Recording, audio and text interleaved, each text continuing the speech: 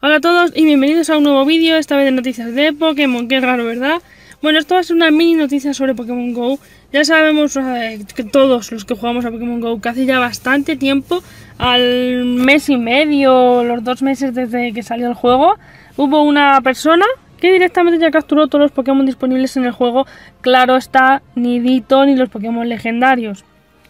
Así que os puedo decir que ya un joven ha capturado todos los Pokémon disponibles en Pokémon GO.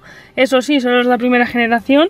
Ya se han ido incrementando los de la segunda y eso, eso todavía no, solo los, de la primera. Y os puedo decir que parece mentira que en tan poco tiempo alguien haya podido atrapar todos los Pokémon que hay exactamente por el momento disponibles en Pokémon GO. Exactamente eran 142 Pokémon, para ser exactos, eran los que había antes y los que ya había conseguido capturar, es decir, había capturado 50.000 Ibis para poder evolucionarlos a los demás, las evoluciones de Eevee. Había capturado todos los Magikarp para evolucionarlos a Yarados, todos, ¿vale? Los había capturado, no sé que haya capturado ya el Yarados, eso no lo sabemos.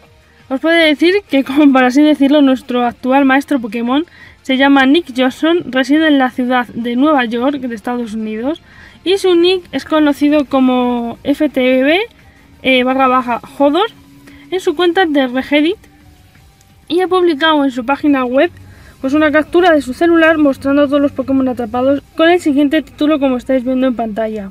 Y os voy a traducir exactamente lo que pone, es que pone que atrapé a todos los Pokémon actualmente disponibles en los Estados Unidos.